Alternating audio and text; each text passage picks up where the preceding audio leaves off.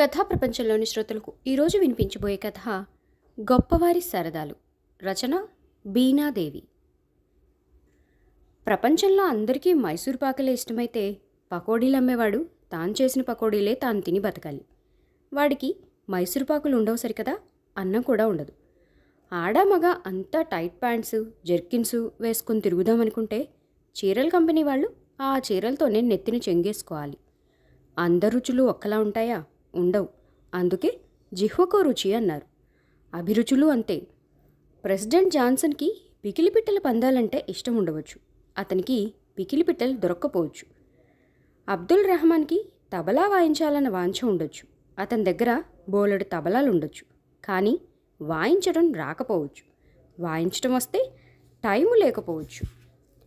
కొందరికి నలుపిష్టం మరికొంతమందికి తెలుపిష్టం మరికొంతమందికి అమెరికన్లు అంటే ఇష్టం. ఇంకా కొంతమందికి నీగ్రోలు అంటే ఇష్టం.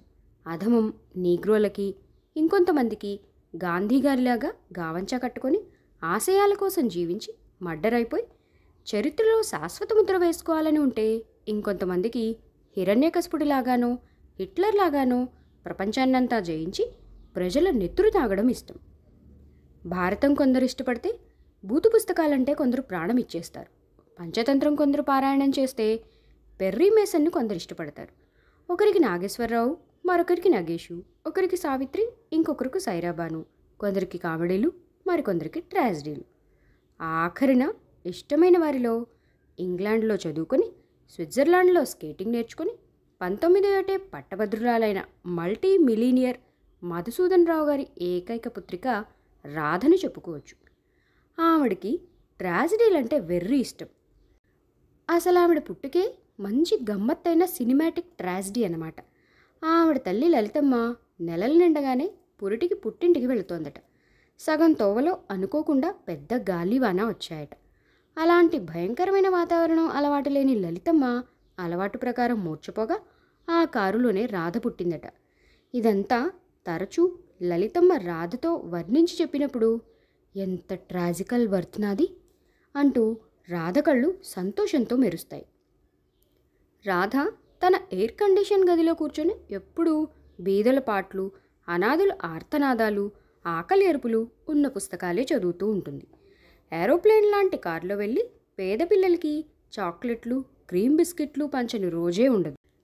ఎయిర్ కండిషన్డ్ థియేటర్లో ఆమె ఎప్పుడూ ఇటలీ పేదవారి సినిమాలు ఫ్రెంచ్ విప్లవానికి ముందు పేద ప్రజల పాటలు చూస్తూ ఉంటుంది.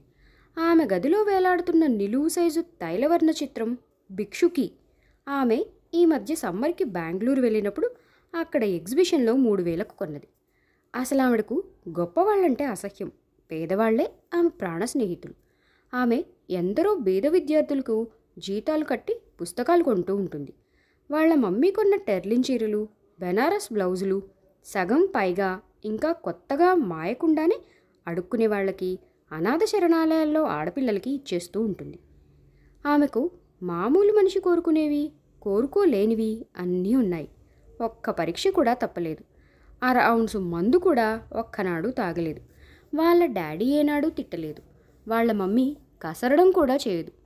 పోనీ తల్లి లేని పిల్లగానైనా కనీసం బాధపడటానికి కూడా వీల్లేకుండా పోయింది. అప్పుడే పూత పోసిన కంచు విగ్రహం లాంటి తల్లి ఉండబట్టి. డబ్బు అవసరానికి సరిపోదేమో అని బాధపడదామంటే ఆమె అడగకుండానే అడగదలుచుకున్న దానికి రెట్టింపు ఇస్తారు వాళ్ళ డాడీ. ఆమెకున్న ఒక్క కష్టం తనకి మనిషికి ఉండవలసిన కనీసపు కష్టాలైనా లేవే అనే బాధ. ఆ బాధ ఆవిడ నరనరాన్ని పీల్చి పిప్పి చేస్తోంది. క్రిస్టియన్లలో కలిసిపోయి ఏ ఆఫ్రికాలోనో ఏ కుష్టివారికో సేవ చేద్దామా అనుకునేది ఒకసారి. మరోసారి తాను పెద్ద రచయిత్రి అయిపోయి ఆకలెరుపులతో పేదల పిలుపులతో కారే కన్నీళ్ళతో కలవారి మనసుల్ని మార్చేద్దామనుకునేది. మరోసారి పెద్ద ఫ్యాక్టరీ పెట్టి అందులో పనిచేసే కూలి వాళ్ళందరికీ తలో వాటా ఇచ్చేద్దాం అనుకునేది మరోసారి తమ కారు బీద డ్రైవర్ని పెళ్ళాడేసి వాడికి చదువు సంస్కారం ఊమప్పి వాడినో పెద్ద సినిమా హీరో చేయాలని అనుకుని వాడికి ఇదివరకే ఇద్దరు పెళ్ళాలు ముగ్గురు ముండలు ఉన్నారని వాడు వాళ్ళందరినీ వంతుల వారిగా తంతాడని తెలుసుకొని ఆ ప్రయత్నం మానేసింది. ఆఖరికి ఏ కులం తక్కువ వాడినో ప్రేమించి భగ్న హృదయగా భారంగా వీణమిటుతూ తన శేష జీవితం ఏ కాశీలోనో గడుపుదామనుకుంది. కానీ ఆమెని తక్కువ కులం వాడు కానీ ఎక్కువ కులం వాడు కానీ ఎప్పుడూ ఆకర్షించలేదు. ఇక నా జీవితానికి కష్టాలు రాయలేదు కాబోలు భగవంతుడు అని ఆమె విచారిస్తున్న సమయంలో ఇక నా కష్టాలకేం కొదవలేదు అనుకుంది. ప్రప్రథమంగా డాక్టర్ రామనాథరావును చూసినప్పుడు. అతనికి ట్రాజడీలంటేనే ఇష్టం.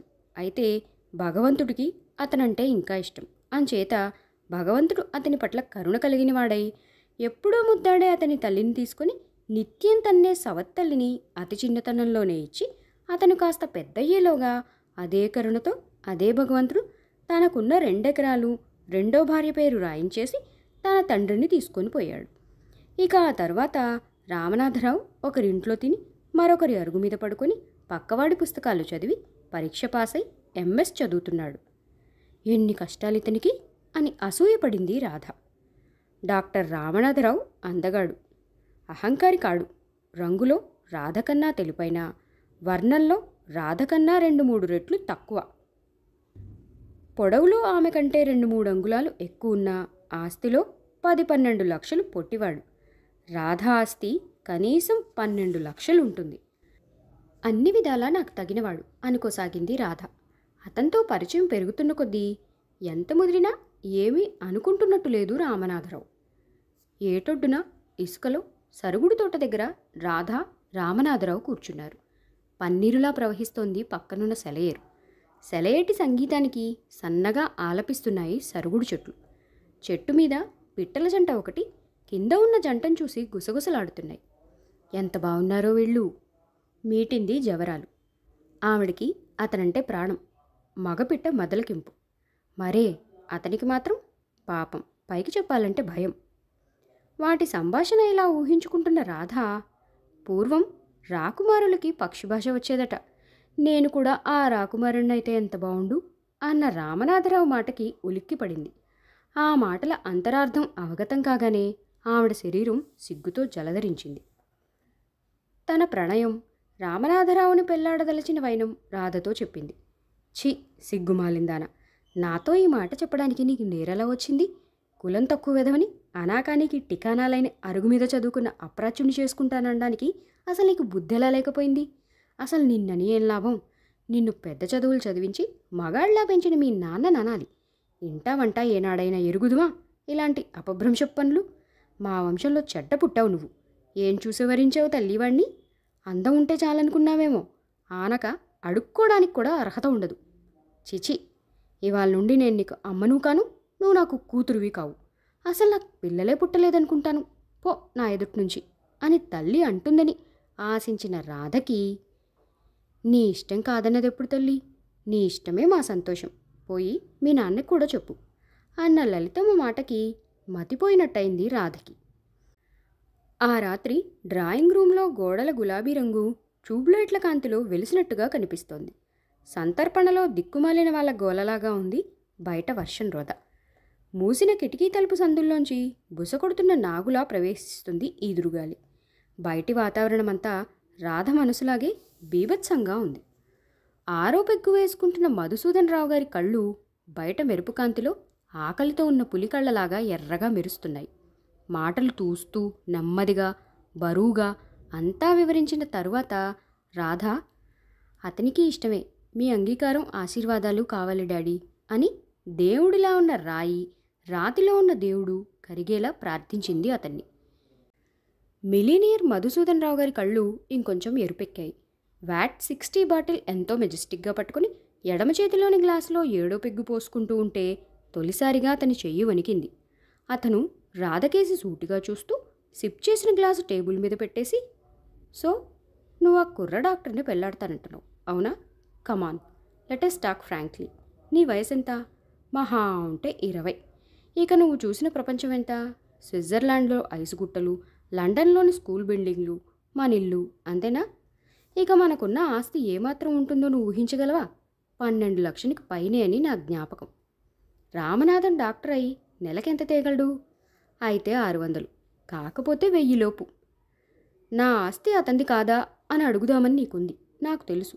కానీ నీది అతందెలా అవుతుందే పిచ్చి తల్లి. ఈ కాలంలో ఎవరి కర్మ వాడిది?